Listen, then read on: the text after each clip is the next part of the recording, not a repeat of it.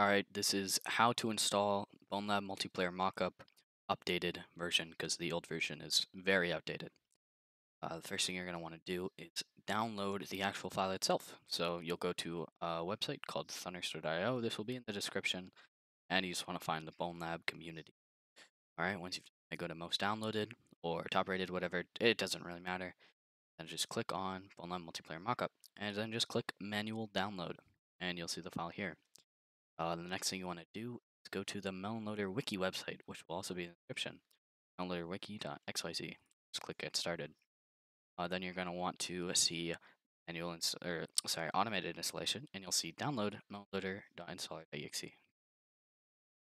That will install this file right here, and you're going to want to click Open File.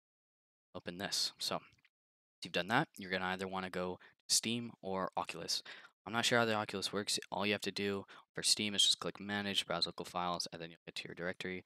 On Oculus, I think it's a similar system, but if you can't find it, look in a directory called Oculus or Oculus.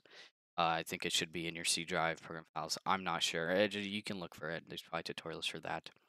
Uh, once you're here, you just want to copy this, and then you want select. Just click on select, and then you put that at the top there.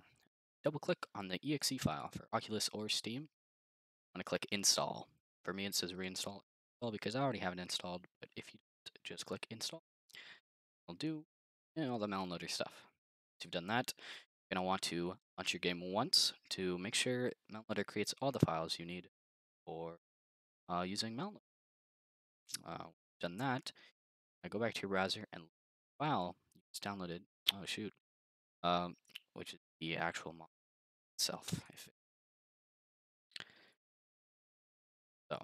uh, you'll see two folders, mods and plugins, and this is where the mod is located and this is where the plugins are. You just want to drag in these folders into your directory right here, and then it'll, you know, do everything, show you.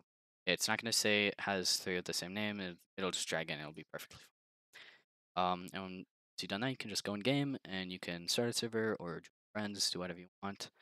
And um, that's just how you do it. So I hope this helped.